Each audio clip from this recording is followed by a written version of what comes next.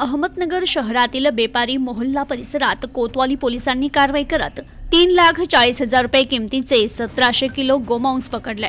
ही कारवाई पोलीस निरीक्षक प्रताप दराडे यांच्या मार्गदर्शनाखाली उपनिरीक्षक प्रवीण पाटील आणि त्यांच्या पथकानं केली आहे. या प्रकरणी पोलीस कॉन्स्टेबल सूरज कदम यांनी कोतवाली पोलीस ठाण्यात फिर्याद दिली. त्यांच्या फिर्यादीवरून काका उर्फ अब्दुल हक कुरेशी रहीम कुरेशी आणि त्यांचे इतर तीन साथीदार यांच्या विरुद्ध गुन्हा दाखल करण्यात आलाय. या घटनेचा पुढील तपास police head constable Santosh Bankar करतायत.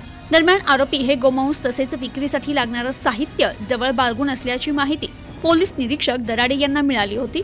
त्यांच्या सूचनेवरून ही कारवाई करण्यात आली. प्रतिनिधी Shafi Sayyad news today twenty four Ahmednagar.